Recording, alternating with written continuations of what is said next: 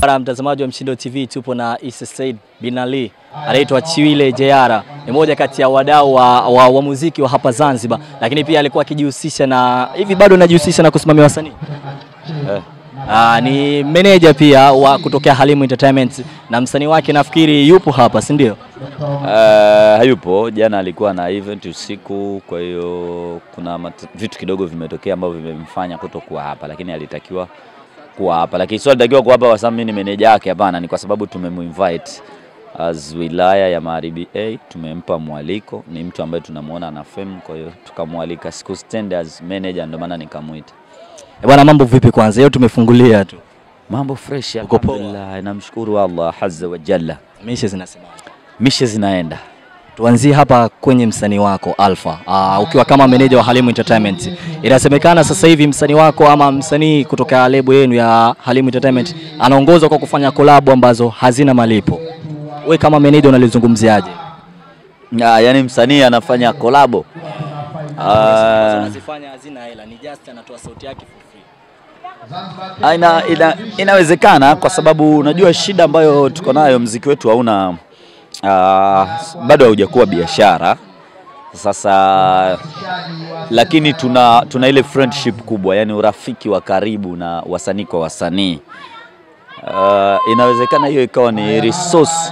Ukimwambia mtu kwamba mimi sifanyi collab, nataka labda unilipe laki tano Ah, Je, wewe ukimhitaji mtu pia unao uwezo wa kumpa hiyo laki tano? Jibu kuja pengine utakuwa hauna. Kwa hiyo najikuta mnasaidiana, tumetengeneza friendship sana, na ndo mziki wetu ambao tunauishi nao, tofauti na wenzetu ambao mziki kwao tayari umeshakuwa ni biashara. Kwa hiyo yeye kufanya kolabo for free kwangu mimi naona ni kitu cha kawaida, na si yeye, almost asilimia kubwa ya wasanii wa Zanzibar wanafanya bure, kwa sababu na wenyewe pia wakihitaji kusapotiwa uh, ama kufanyiwa kitu chochote pia nao hawana uwezo wa kulipa. Kwa hiyo ni free free free boti wenyewe wanasema eh.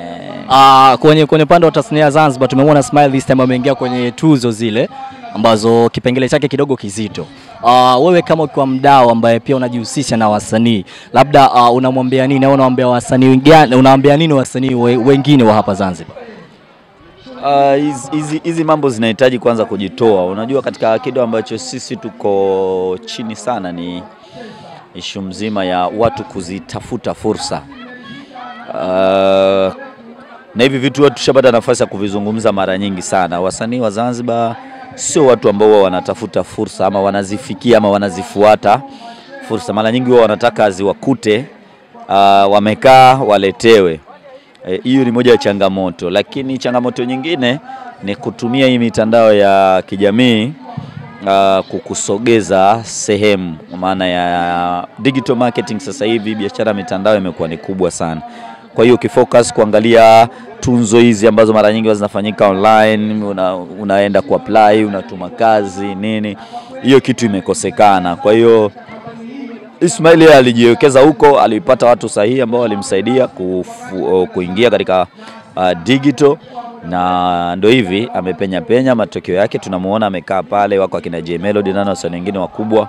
Kwa hiyo hata kama asipopata, lakini kwake yeye kuwa nominees peke yake ni kitu kikubwa, na inaweza ikawa ni funzo pia kwa wasanii wengine kwamba inawezekana usio una hit nyingi ama usio una hit kali kwa huo mwaka, lakini kwa sababu umeomba watu wakaangalia "Ah, huyu msanii chipukizi ameomba, wanasikiza ngoma yako ni kali, ukapata nafasi ya, ku, ya, ku, ya kuonyesha ama watu kukutambua kupitia hizo hizo uh, tunzo ambazo watu wanashiriki. Sasa sisi tu- tulikaa na mshikaji wangu, tuna foundation yetu ambayo imeshasajiliwa tayari, tumesha launch. Kikubwa ambacho tutakuwa tunakifanya ni kutoa awareness. Vipi unaweza kutumia mitandao ya kijamii, vipi unaweza kulifikia soko la mainstream, vipi unaweza ukatengeneza international marketing ambayo sio mainstream, kwa sababu kuna vitu viwili vya tofauti hapo. Kuna mainstream uh, ambayo ni ile ngoma imehiti unapata shows, lakini pia kuna international market ambayo hii hauhitaji sana kwenda marketing ni the way ambavyo unatengeneza aina ya mziki wako, unavutia watu, unapata invite, uh, wanakuinvite kwenye matamasha mbalimbali ama una apply kwenye matamasha mbalimbali. hii Uh, hii ndio tunaita sisi international market. Ni kwamba watu hawakujui sana, lakini ukienda kwenye matamasha makubwa una vibe kinyama kama Sit and the Band and baadhi ya artist akina Tofa nani ambao wao wamejiwekeza huko na wanatengeneza mkwanja mzuri tu, ingawa hawana hit song kwenye radio. Ah, hapo hapo umezungumzia pia kuwa na platform ambayo mmeanzisha itasaidia kutoa elimu kwa, kwa wasanii. Ah, ukiwa kama mmoja kati ya watu ambao back in the days ulijihusisha pia na hayo mambo, na tumelizungumzia swala la tuzo. Smile ameenda huko kwa ajili ya tuzo na nini, da pale tuzo zimerudi Tanzania bara zimerudi Zanzibar, hatujaona hilo jambo. Labda hamjawahi kufikiria hata siku moja kutengeneza japo ambazo zitatoka kwa upande wa kwenu ST Wile na mtu fulani zikaja tuzo kwa just appreciation kwa wasanii wa Zanzibar? Mm, tuzo zinafanyika lakini labda haziko base kwenye mziki peke yake, pengine kwa sababu tunao kama wale Zanzibar Youth Award wanafanya tunzo, wanagusa pia baadhi ya kategori za wasanii, ingawa zina watu wengi ndani yake, kwa hiyo mziki unakuwa hauonekani sana. Uh, kitu kizuri ni kwamba Zanzibar Music Award ya mwisho ambayo ilifanyika sasa, sijui kwa sababu na sisi pia tulikuwa, mimi kwa ni jaje eh, by alafu ndio ikufanyika tena baada ya hapo E, kuna ulazima wa kuwa na kitu cha aina hiyo, inawezekana ikachangamsha game ya muziki Zanzibar. Uh, lakini vipi tunaenda huko? Kwanza ni kuondoa um, ile mindset ya wasanii kupata tunzo, kuingia kwenye kategori, kujua yani thamani ya kuwepo kwenye category, alafu kujua thamani ya kushinda tunzo, alafu kujua utofauti wa thamani ya unachopewa na ile trophy. Unajua, kwa sababu mziki wetu hauna hela, ndio maana utasikia ah, tunzo yenyewe imewekwa laki na nusu, rafiki yangu, simenielewa. Yeye anaangalia pesa ambayo ipo kwenye bahasha baada ya kupata tunzo, haangalii ile trophy. Wenzetu focus yao ni ile trophy, sio pesa anayopata.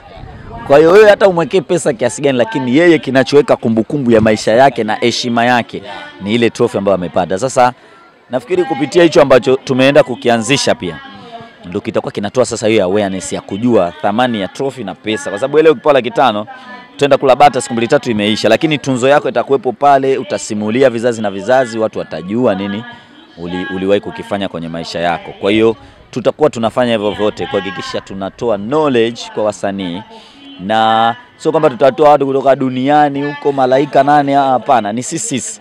Sababu mimi nina kitu nakijua, kuna mtu fulani labda HK kuna kitu anajua, kuna Hyperman Chapa kuna kitu anajua, tunawatumia hao katika vile vitu vidogo ambavyo wanavyo uh, kuja kuzungumza na wasanii. Umenielewa eh? Kuna watu wako vizuri sana kwenye digital marketing akina Razaki uh, akina Beatrice ni watu wako vizuri kwenye mambo ya marketing, tunaweza kuwatumia hao wa kutoa ile elimu kwa wasanii ambao wasanii kazi yao itakuwa ni kuja tu kuhudhuria tu kwamba bana, leo tunatoa somo ama wiki tunatoa somo la digital marketing. Kwa wao watakuja waone wanalifikiaje hilo soko la kwenye mitandao. Ah, labda kwa kumalizia sasa, una, unaongea nini na Wazanzibari pamoja na wasanii ukiwa kama mwanaharakati pia wa huu mziki ambao tunazidi kupambania siku hadi siku? Navyo vitu vingi vya kuongea na wasanii, lakini labda leo niongee tu vichache kwamba tujifunze vitu kila siku. Mziki unabadilika. Uh, mziki sio kwenda studio tu ukarekodi nyimbo, baada ya hapo ukaanza kumsumbua producer kupe nyimbo yako. Akisha kupa nyimbo ndio unamtafuta mtangazaji, "Eh bana, naomba interview nije kutambulisha nyimbo. Mziki una sehemu nyingi sana, kwa hiyo lazima tuzijue zile strategy za mziki zenyewe, kutoka kwenye production ambayo unafanya kwenda kwenye supply, the way ambavyo una distribute mziki wako kwenye digital marketing.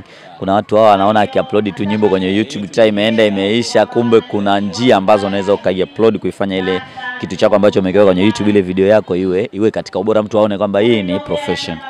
Hivyo vitu watu hawajui, lakini pia uko audio mark wapi, the way, kuna njia zake pia ambazo wanatakiwa kuweka mziki. Kwa hiyo lazima wajifunze zile strategy za mziki ili wawe bora zaidi. Lakini pia kingine ambacho nakisisitiza ni kwenye hayo masoko, kwa maana ya unaweza ukajichagua, mimi nataka kwenda mainstream na unahitaji kuinvest pesa nyingi sana ili kwenda huko mainstream. Sasa je, ili usiende mainstream unatakiwa ufanye nini? Maana yake utachagua sasa aina ya mziki wako ambao unasema kwa hii hela ndogo ambayo ninayo na hapa Zanzibar ni sehemu ambayo wageni huwa wanakuja. Mimi mziki wangu nitauza kwa wageni na nitapata hela, na watu wanatengeneza maisha. Kina Makombora nani wana, wako vizuri tu kwa sababu wamechagua aina ya mziki ambao wanaufanya na wanau distribute.